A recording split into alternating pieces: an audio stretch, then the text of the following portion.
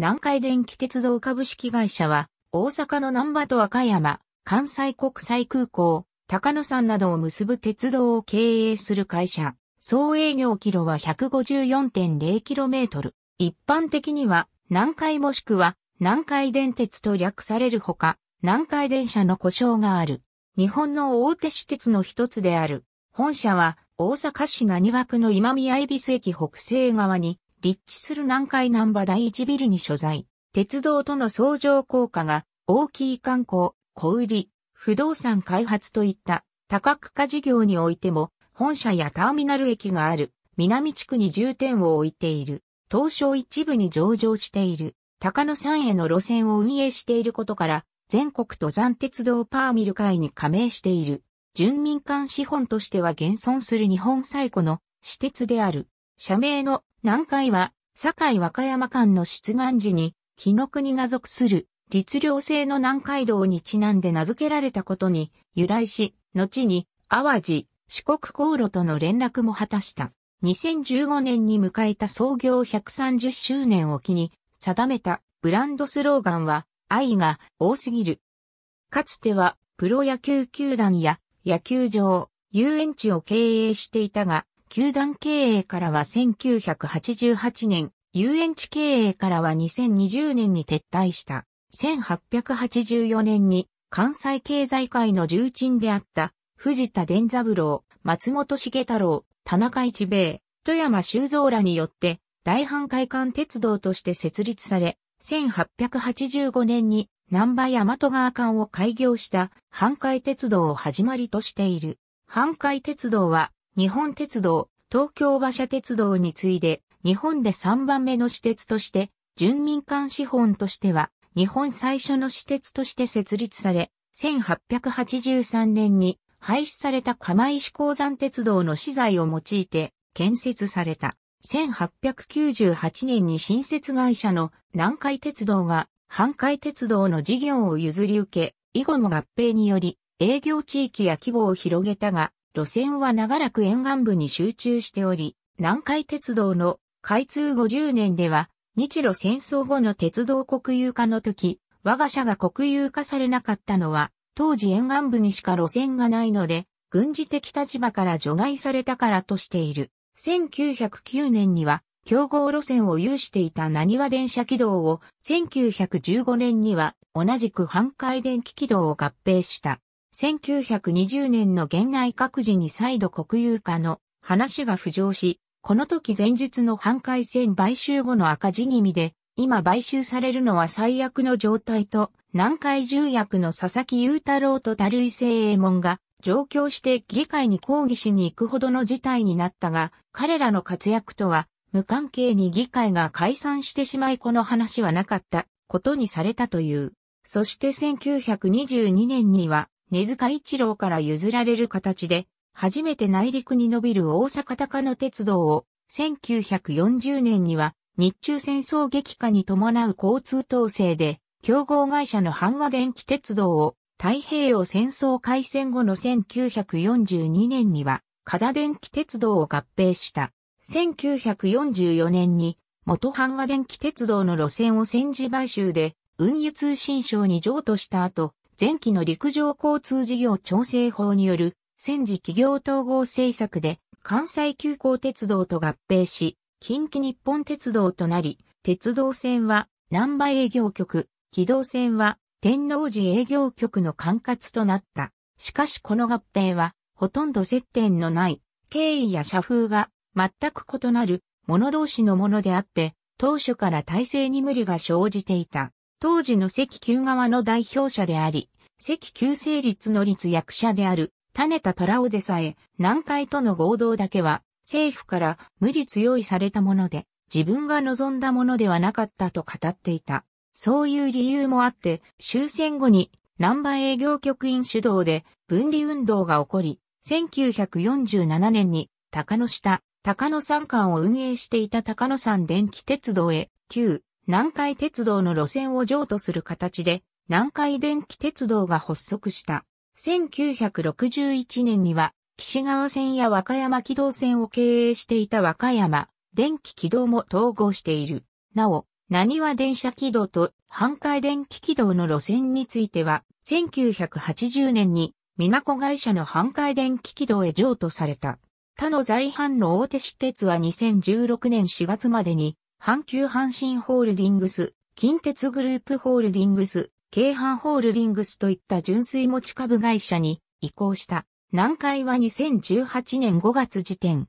在阪の大手私鉄では、唯一、純粋持ち株会社制度をとっておらず、移行の予定もない。南波駅北口にある、歯車マークのモニュメント土地境開票初代車掌は、歯車マークと呼ばれ、前身の半海鉄道時代の衣装から、車輪の向きを変えて継承したものである。車輪に羽が生えたデザインは、ヨーロッパ諸国の国営鉄道の紋章によく見られるものだが、南海がヨーロッパから車両を輸入した際この紋章の車輪に羽が生えれば、早いとの衣装を気に入り、車輪の向きのみ変えて採用したとされる。1947年6月1日、グレートリングから解消した南海ホークスの球団名も、この羽イコール鳥にちなんだと言われる。現在でも南波駅の北側入り口上には、歯車をかたどったモニュメントが飾られている。また、南海の各駅に広告が掲示されている、歯車ソースのマークも、南海の旧車掌をモチーフとしたものである。1972年6月1日に制定された2代目の車掌は、旧車掌の歯車の衣装を残しつつ、当時のコーポレートカラーであった緑色を取り入れ、より直線的なデザインとなった。後述のコーポレートシンボル制定後も株主、優待上車掌や土地境開票などにおいて、正式な車掌として使用が継続されている。関西国際空港の開港を翌年に控えた1993年4月1日に CI 導入による南海を表したコーポレートシンボルを制定した。コーポレートカラーも緑色からファインレッドとブライトオレンジの組み合わせへ変更した。イメージとしては総合生活企業として未来に向けて力強く羽ばたいていく姿勢を表現している。半海電気軌道、和歌山バスなどの子会社に関しても、導入時期は多少遅れながらもこのロゴマークを親会社に追随して導入している。ただし、半海電気軌道の正式な車掌は、現在も親会社の2代目の車掌に近いデザインとなっている。以下の各路線を有し、南海本線とその支線群を南海線と総称している。南海線の各支線は高篠浜支線というように支線と称していたが、天王寺支線が廃止された1993年から空港線が開業した1994年頃より単に線と呼ばれることが多くなった。なお、国土交通省監修の鉄道要覧には線と記載されている。路線の総延長は 154.8km。南海本線、空港線及び高野線が主要路線である。南波駅駅ナンバリングの路線記号はすべて、路線図何和筋線。編集詳細は、何和筋線を、参照新大阪と南波を結んで、関空アクセスの利便性を高める路線として1980年代から、何和筋線の計画があった。長らく構想自体が停滞していたが、2017年3月、大阪府と大阪市、JR 西日本、南海電気鉄道、阪急電鉄の5社が新たな事業計画で大筋合意したと報じられた。同年5月には JR 南波駅西本町駅中之島駅北、梅田駅間及び南海市に今宮駅南海市南波駅、西本町駅中之島駅北梅田駅間を第3セクターが整備し、南海新南波駅、西本町駅、中之島駅及び北梅田駅の4駅を新設すること、JR 南波北、梅田間を JR 西日本、新今宮北、梅田間を南海が営業主体となって営業すること、2031年春の開業を目標としていることが5社から発表された。大半が地下線で、南海は新今宮駅から南海本線に乗り入れる。阪急も北梅田駅13駅間を結ぶ何和筋連絡線の新設を調査、検討するとしており、何和筋線と直通運転する協議を進める。何和筋線計画が具体化したことにより、悲願であった梅田進出が叶う。過去3度、梅田までの延伸を申請していたが、いずれも大阪市に却下。また競合する JR 西日本が難色を示したことで断念していた。南海電鉄では優等列車として特急列車を運行しており、系統に応じて下記の愛称がある。ラピート南海本線、空港線を走る関西国際空港への連絡列車、サザン南海本線、和歌山港線での速達列車、南海フェリー、徳島航路との接続列車でもある、荒野、高野線を走る高野山への観光列車、林間、高野線を走る近郊特急、仙北ライナー高野線と仙北高速鉄道線と結ぶ直通特急、準、大手私鉄5社での有料特急運転は初の事例となった。サザンと天空は座席指定料金、他は特急料金、大人料金、2019年10月1日改定。なお、乗り継ぎ料金制度はなく、座席指定特急同士を乗り継ぐ場合は、各列車の料金がそれぞれ必要となる。前日の通り、南海の特急は、サザンの自由席車を除き、すべて全車座席指定なので、乗車には乗車券の他に特急券が必要になる。ラピート、荒野、林間の特急券、サザンの座席指定券は1ヶ月前から駅窓口のほか、南海国際旅行や日本国内の主要旅行代理店で購入可能である。なお、全特急列車とも南海鉄道クラブの会員であれば、インターネット上及び携帯電話からも購入可能であるほか、同サービスによる特急券購入の代金として充当可能な特急ポイントの還元という特典も受けられる。なお、駅窓口での発見方法は JR 線のマルスと違い、係員が空席情報を見て、発見時に一番良いと思われる席を指定する方式である。南波駅ではグループ会社の南海国際旅行が特急券、座席指定券の発売を南海より委託されている。ホーム上には特急用の自動券売機が設置されている。自動券売機での発売開始は列車発車の20分前で、その時点で満席の場合は発売されずその列車には乗車できない。また、自動券売機では現金のみの取り扱いで、紙幣も千円札以外は使えない。ただし、南波駅では通勤の乗車が多くなる夕方以降は、係員が一部の特急券自動販売機の側に、特急の発車10分前に立って、両替やご購入等旅客の対応に当たっている。天空の座席指定券は、上規格列車とは異なり、乗車希望日の10日前から前日まで、天空予約センターで電話のみの予約受付となっている。特急列車の号車番号は、関西空港、和歌山港、高野山、泉中央法の先頭が1号車で統一されている。座席番号は数字のみで不番されている。関西空港、和歌山港、高野山、泉中央方面を向いて、左側の窓側を1番として、窓側を奇数、通路側を偶数とする。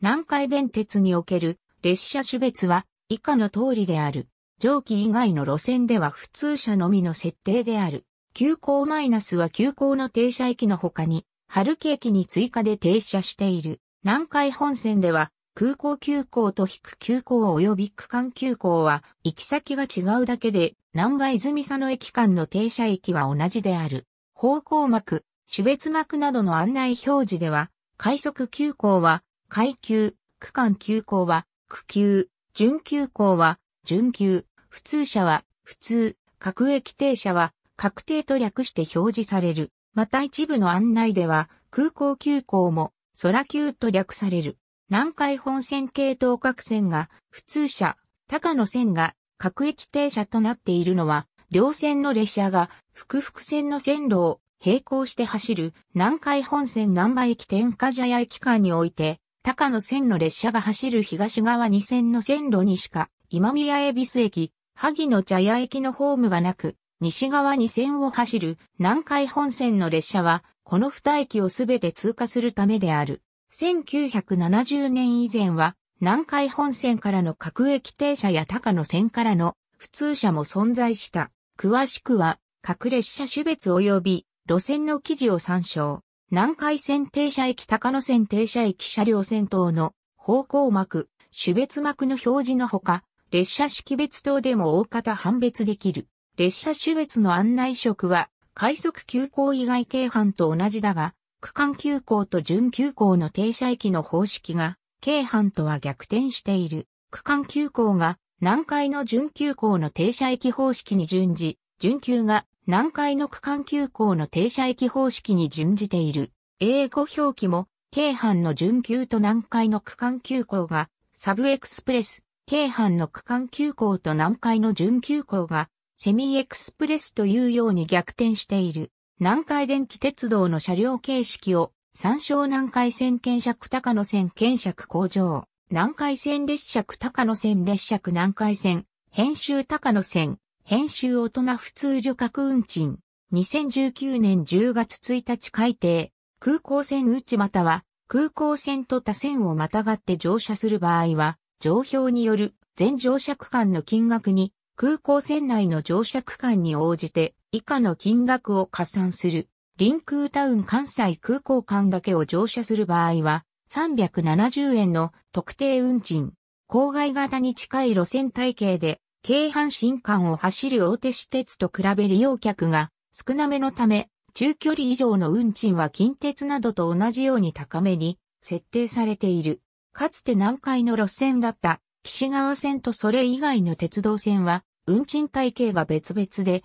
乗車キロの通算制度がなかったため、岸駅和歌山駅和歌山市駅南波このように利用するとかなり高くなってしまうという問題があった。また、相互直通運転している仙北高速鉄道線の各駅と南海の各駅間を中本駅を経由して利用する場合の運賃は、それぞれの運賃を合算したものから100円を割り引いた額である。仙北高速鉄道線の運賃体系は南海と別であるが、割引額が大きいことから乗車キロを通算して南海の運賃体系に当てはめた場合とほぼ変わらない。ただし、通勤定期運賃は南海に比べ割高である。乗り継ぎ割引額引き上げ前は、仙北高速線の通学定期運賃も割高であり、通学1ヶ月は中本泉中央間が仙北7910円に対し、同じ距離に相当する南海の通学1ヶ月は5290円と約1.5倍の開きがあったが、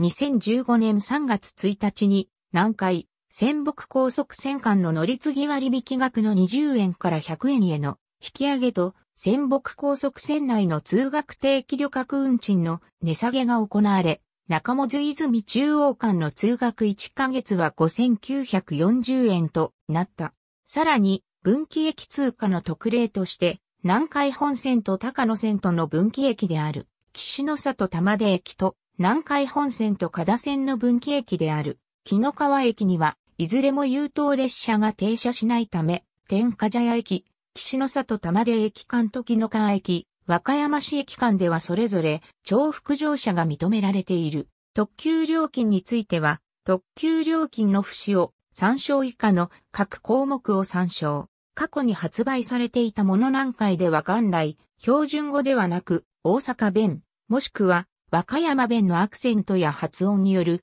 車内放送が行われていた。ところが、関西国際空港の開港を控えた1990年代初頭から、これらの放送が空港連絡鉄道としてふさわしくないとの批判が増え始めたため、アナウンサーによるイントネーション講習会の開催や手本となるカセットテープの配布、車内の案内放送用語例の改定などを行い、現在のスタイルの原型を作り上げた。さらに2004年6月1日からは、もてなしの気持ちを表現しながら、より簡潔、明瞭な情報をお伝えするため、車内案内放送が一部変更されている。また、これに伴い、車掌などアナウンスに関わる業務に携わる全従業員を対象に、発生等に関する全社的な研修が行われた。近年では、インバウンド効果による外国人観光客の増加の影響で多言語による旅客案内も強く要求されるようになった。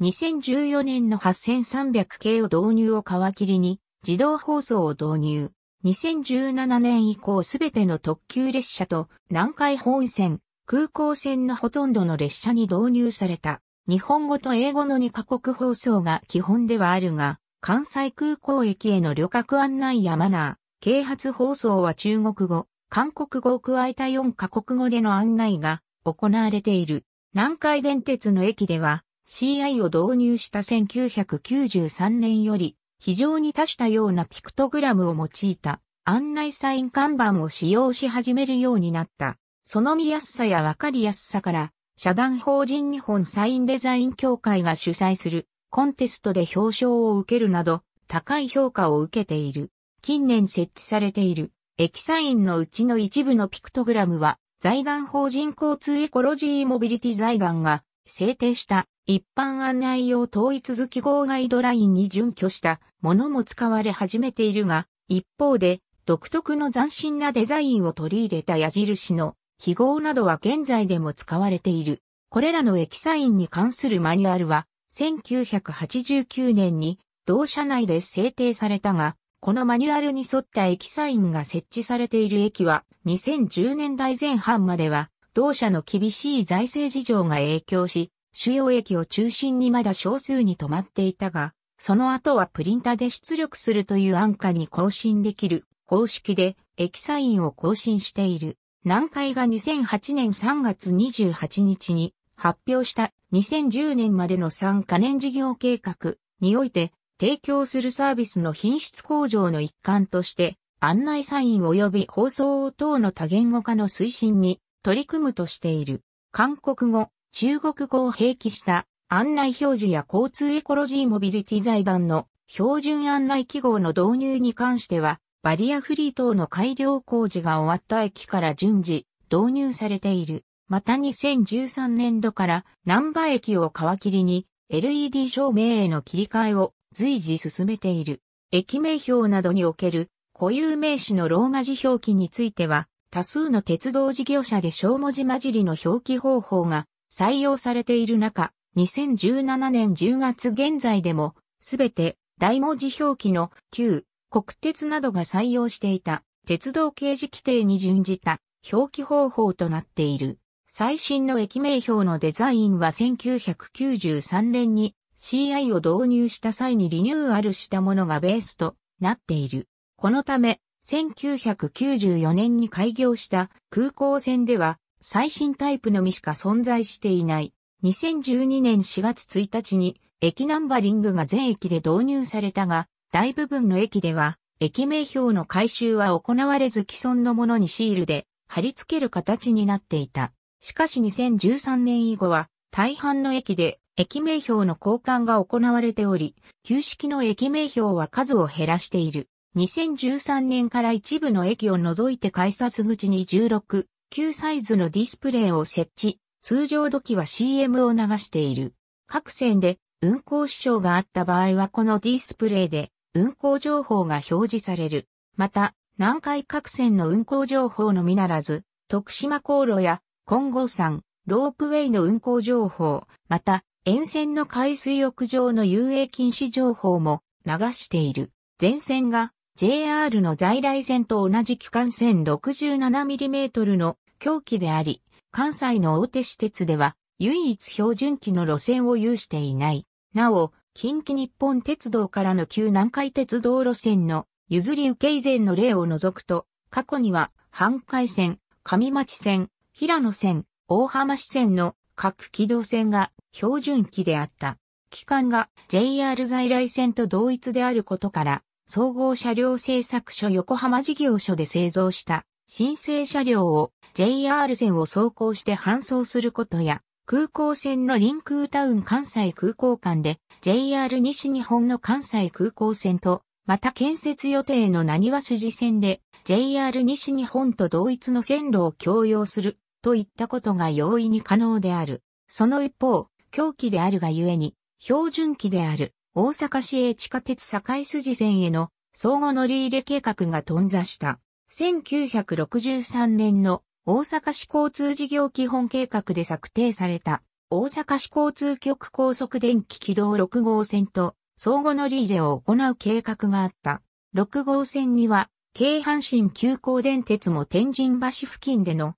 相互乗り入れ希望し、それぞれの規格が異なっていたことから激論となった。大阪市は、御堂筋線などの季節路線で 1435mm 機関、直流 750V 第3機乗方式を採用していたことから、6号線についても当初はトンネル断面を最小限に抑えられ、また、自極多線との車両融通が容易なこの規格による路線建設を希望していた。そのため、それぞれ規格の異なる両者との相互乗り入れには消極的で、特に機関、終電方式、電圧の規格が全く異なる南海との乗り入れに対しては当初から冷淡であった。ただし、管轄する運輸省としては、阪急側には 1067mm への強気化を、南海側には 1500V への昇圧を行わせて、それぞれ歩み寄らせた上で三社直通運転を行う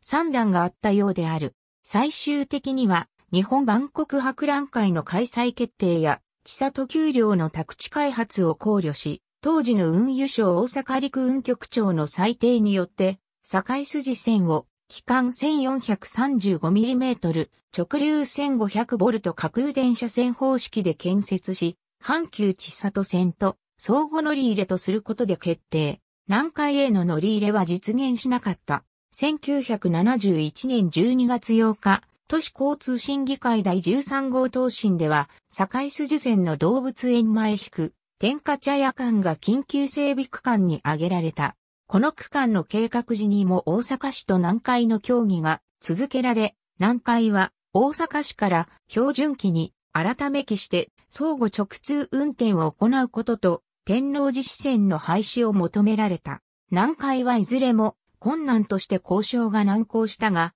両者の歩み寄りにより、南海が天王寺支線を廃止し、大阪市が南海との相互直通運転を断念することで合意した。南海グループを参照。ありがとうございます。